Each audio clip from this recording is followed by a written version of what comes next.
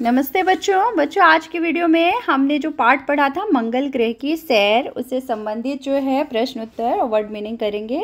तो पहले हम मेन मेन, पहले इसके, जो पार्ट का वीडियो मैंने बनाया तो उसमें सारे वर्ड मीनिंग मैंने दे दिया है, लेकिन जो कुछ इंपॉर्टेंट वर्ड मीनिंग है, वो हमें फिर से देख लेते हैं। जैसे अध्ययन अध्ययन का मतलब होता है खोजबीन मतलब कि स्टडी करना या रिसर्च करना। फिर है सतह। सतह का मतलब होता है तल मीन्स सरफेस संभावना मतलब अनुमान। अनुमान लगाना मतलब पॉसिबिलिटी होना वहाँ पे। और परीक्षण का अर्थ होता है जांचना, किसी चीज़ को एग्जामिन करना। फिर खगोल विज्ञान मतलब जो ग्रह नक्षत्रों से संबंधित विज्ञान होता है, उसे हम खगोल विज्ञान कहते हैं मतलब एस्ट्रोनॉमी अब हम इस पार्ट में आए हुए कुछ प्रश्न उत्तर देखते हैं। अभी हमें इसमें एक वाक्य में उत्तर देना है मतलब वन सेंटेंस में आंसर देना है। फ़र्स्ट है, पृथ्वी ग्रह के पड़ोसी मतलब नेबरिंग प्लेनेट पड़ोसी ग्रह कौन कौन से हैं? तो उत्तर है, मंगल और शुक्र, पृथ्वी ग्रह के पड़ोसी ग्रह हैं। फिर दूसरा है, अनन्या की माँ किस पत्रिका की संपादक थी? तो उत्तर है, अनन्या की माँ खगोल विज्ञान की पत्रिका की संपादक थी। फिर थर्ड है, यूनानियों ने मंगल ग्रह को क्या नाम दिया? तो उत्तर है, यूनानियों ने मंगल ग्रह को मार्स नाम दिया। जो हम इंग्लिश में मार्स पढ़ते हैं ना, मार्स प्लैनेट वो यूनानियों ने उसका नेम दिया हुआ है। फिर इसके बाद अगला प्रश्न है, मंगल के वातावरण में कौन सी गैस सबसे अधिक है? तो इसका उत्तर है, वहाँ के जो एटमॉस्फेयर वातावरण मतलब वहाँ का एटमॉस्फेयर है, वहाँ पे सबसे ज़्यादा मंगल के वातावरण में कार्बन डाइऑक्साइड गैस सबसे अधिक मात्रा में है। फिर इसके बाद हमें थोड़ा सा लॉन्ग क्वेश्चन आंसर करना है। दो से तीन लाइन में बीस से पच्चीस पच्चीस से तीस शब्दों में। तो प्रश्न है, मंगल ग्रह कैसे रंग का दिखाई देता है? तो उत्तर है, मंगल क्या लाल रंग का दिखाई देता है? क्यों दिखाई देता है? क्योंकि मंगल के एटमॉस्फेयर में आयरन ऑक्साइड है। तो उत्तर है, मंगल की धूल में आयरन ऑक्साइड का खनिज बहुत अधिक मात्रा में है। इसके कारण इसका रंग लाल दिखाई देता है। फिर इसके बाद अगला प्रश्न है, मंगल ग्रह पर अभी क्या खोज चल रही है? मतलब वहाँ क्या रिसर्च चल रही है मार्स प्लेनेट में? तो उत्तर है, वैज्ञानिक यह पता लगाने की कोशिश कर रहे हैं कि क्या पृथ्वी की सतह, तरह है, मंगल ग्रह पर भी जीवन मतलब वहाँ पे भी लाइफ पॉसिबल है, संभव है? मंगल ग्रह पर काई जैसी वनस्पति, काई जो होता है बच्चों, उसे हम कहते हैं मॉस। जैसे काई जो होते हैं, मॉस या फिर हम इसे लाइचेनालाइस लाइस ये मॉस या लाइचिन बोलते हैं। ये जो होती है वनस्पति मतलब एक तरह का प्लांट होता है जो कि पत्थर और मिट्टी, जो मॉइस्ट वाली जो चीज़ें होती है ना देखा होगा नदी, समुद्र के किनारे जो स्टोन्स में ग्रीन ग्रीन कलर की लग जाती है, उसे हम काई या मॉस कहते हैं। उस टाइप की वनस्पति और निम्न कोटि के जीव जंतु होने की खोज चल रही है। मतलब ये अभी वहाँ पे, उसकी रिसर्च चल रही है कि ये मार्स में मिलेंगे। फिर इसके बाद नेक्स्ट जो क्वेश्चन है अगला प्रश्न है, मंगल ग्रह को क्या हम पृथ्वी से आसानी से देख सकते हैं? तो इसका उत्तर है, मंगल ग्रह पृथ्वी की तुलना में सूर्य के चक्कर कम गति से लगाता है। मतलब मंगल ग्रह जो है, उसका रिवोल्यूशन जो सन के चारों तरफ़ होगा, वो ना पृथ्वी से थोड़ा स्लोअर है, धीरे चलता है। इसलिए दोनों ग्रह पंद्रह से सत्रह सालों के बाद ही एक दूसरे के नज़दीक आते हैं। तो हमें देखना इतना संभव नहीं है। बहुत आसानी से हम नहीं देख पाते। केवल पंद्रह से सत्रह साल के बाद ही हम, जब एक दोनों क्लोज़र होंगे, अर्थ और मास, तभी हम देख पाएँगे।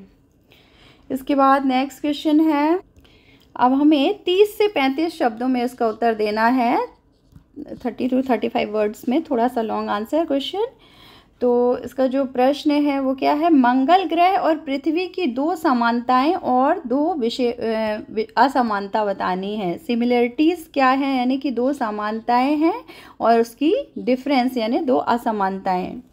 तो उत्तर है, मंगल ग्रह और पृथ्वी ग्रह की दो समानताएँ यानी जो सिमिलरिटीज़ हैं, दोनों दोनों की क्या है? दोनों पर ही पत्थर, घाटियाँ और पहाड़ हैं। फिर है, दोनों ही ग्रह सूर्य के चक्कर लगाते हैं। अब इनमें डिफरेंस क्या है? मंगल ग्रह सूर्य का एक चक्कर 687 डेज़ में पूरा करता है। तो वहाँ एक साल जो होगा मतलब जितने दिन में सूर्य का चक्कर लगाए उतने साल, दिन में एक वन ईयर होता है ना, जैसे अर्थ 365 डेज़ में लगाती है तो अर्थ का वन ईयर 365 डेज़ का। तो वहाँ पे 687 डेज़ में वन ईयर होता है मंगल में। और पृथ्वी जो है सूर्य का चक्कर तीन सौ पैंसठ दिन छः घंटे और नौ मिनट में पूरा करती है। तो वहाँ पे एक साल तीन सौ पैंसठ दिन छः घंटे और नौ मिनट का होता है। या फिर आप three sixty five days approximate लिख सकते हैं। फिर है दूसरा, अब इसके बाद है मंग, मंगल का आकार पृथ्वी से छोटा है। दूसरा डिफरेंस क्या है? मंगल का जो साइज़ है अर्थ से स्मॉलर है। और दूसरा, पृथ्वी जो है मंगल के करीब व्यास जो है ना डायमीटर से दो गुना बड़ी है। मतलब अर्थ का साइज़ जो है, मंगल से डबल है उसका डायमीटर मतलब व्यास। इसके बाद नेक्स्ट क्वेश्चन है, भारत की सबसे बड़ी उपलब्धि मार्स ऑर्बिट मिशन मॉम के बारे में लिखिए। ये एक इंपॉर्टेंट क्वेश्चन हो सकता है कि जो हम, भारत ने अपना जो मिशन 2013 में मॉम चलाया था, उसके बारे में हमें लिखना है।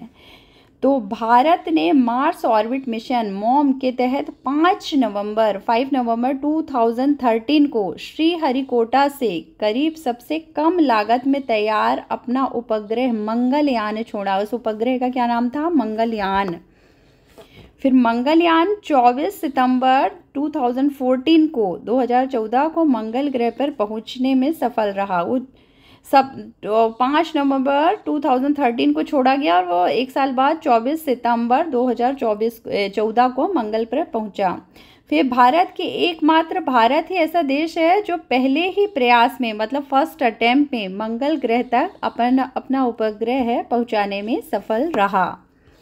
तो ये थे कुछ इम्पोर्टेंट प्रश्नोत्तर के नोट्स अब अपनी टेक्स्ट बुक में जो प्रश्न उत्तर हो गए हैं, आप कुछ और प्रश्न देखते हैं, जैसे यहाँ पे एमसीक्यू टाइप के जो क्वेश्चन हैं, यहाँ पे हमें करेक्ट ऑप्शन चूज़ करना है। पहला क्या है? मंगल को सूर्य का चक्कर लगाने में कितने दिन लगते हैं? तो उत्तर है six hundred eighty seven days फिर है, इनमें से क्या पृथ्वी और मंगल दोनों ग्रहों पर है? मतलब कौन सी कॉमन चीज़ है जो अर्थ और मार्स दोनों में है? तो आंसर है घाटियाँ और पहाड़। फिर इसके बाद जो थर्ड वाला क्वेश्चन है तो इसमें थर्ड में क्या है? हाल ही में किन देशों ने मंगलयान भेजे हैं? मतलब मार्स के स्टडी के लिए किस किस ने सेटेलाइट भेजे हैं? तो इसका उत्तर है अभी करंट में, हाल ही में मतलब अभी करंट में भारत, यूरोप और अमेरिका। अमेरिका का एक है, अभी यूरोप ने तीन और एक भारत ने भेजा है। तो अभी करंट में तीन देशों ने मंगलयान भेजे हैं। फिर इसके बाद है किस मंगलयान ने सबसे पहले मंगल की सतह से चित्र लिए? मतलब किसने सबसे पहले मंगल ग्रह के पिक्चर्स निकाले? तो इसका उत्तर है मेरियन फोर। ये जो मेरियन फोर है, ये अमेरिका ने भेजा था। इसने सबसे पहले मंगल ग्रह की सतह के मतलब उसके सरफेस का पिक्चर लिया था। फिर इसके पास कुछ ये जैसे उलट पुलट किए गए हैं मतलब अनजम्बल लेटर्स हैं टू फॉर्म वर्ड ये अनजम्बल को हमें प्रॉपर फॉर्म में करना है। तो पहले जैसे ये है, वातावरण होगा दूसरा, इसका बनेगा नज़दीक। इसको करेक्ट करोगे नज़दीक।